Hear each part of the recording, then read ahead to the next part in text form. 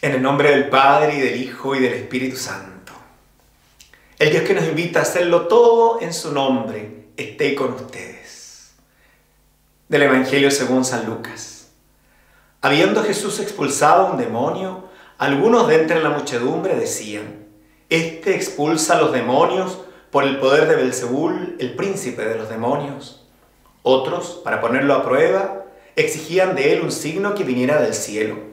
Jesús, que conocía sus pensamientos, les dijo, un reino donde hay luchas internas va a la ruina y sus casas caen una sobre otra. Si Satanás lucha contra sí mismo, ¿cómo podrá subsistir su reino? Porque como ustedes dicen, yo expulso a los demonios con el poder de Belzebul. Si yo expulso a los demonios con el poder de Belzebul, ¿con qué poder los expulsan los discípulos de ustedes?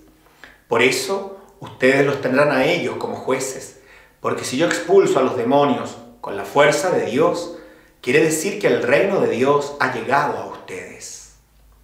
Cuando un hombre fuerte y bien armado hace guardia a su palacio, todas sus posesiones están seguras.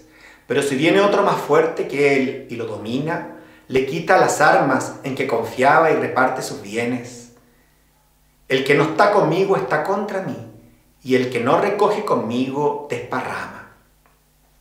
Cuando el espíritu impuro sale de un hombre, vaga por lugares desiertos en busca de reposo y al no encontrarlo piensa, volveré a mi casa de donde salí.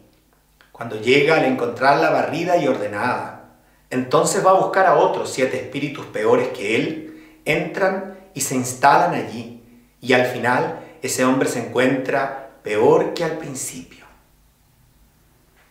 Somos llamados en este día a construir el reino de Dios, lejos de desparramar de tantas formas que solemos hacerlo tristemente, con comentarios llenos de maledicencia, con envidia, con chaqueteo, con intolerancia, etcétera, etcétera, somos llamados a recoger para el reino de Dios. Y encontramos hoy día una inspiración privilegiada en la persona de nuestro santo patrono, San Luis Beltrán, un misionero infatigable, un hombre que dejó la madre patria y vino a esparcir el Evangelio, pero no a desparramar las palabras de Dios, sino a recogerlas con sabiduría, rescatando lo bueno que encontró por doquier. Que el ejemplo de nuestro santo parroquial sea, en primer lugar, un desafío a conocerlo más y una inspiración a anteponer todo por el reino de Dios, recoger para el reino, edificar el reino, ayudar a los santos y ante todo a Jesucristo hacer que esta viña del Señor, particularmente esta porción que lo tiene encargado el patrocinio de San Luis Beltrán, pueda ser en medio de Pudahuel un signo preclaro de hombres y mujeres que recogemos muy distinto a desparramar en favor del reino de Dios.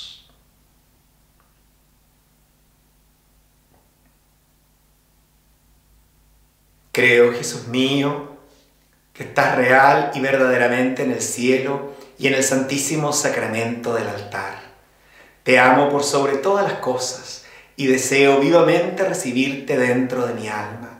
Mas, no pudiéndolo hacer ahora sacramentalmente, ven espiritualmente a mi corazón. Y como si ya te hubiese recibido, te abrazo y me uno del todo a ti. Señor, no permitas que me separe de ti. Que por la intercesión de San Luis Beltrán les bendiga el Dios que es Padre, Hijo y Espíritu Santo.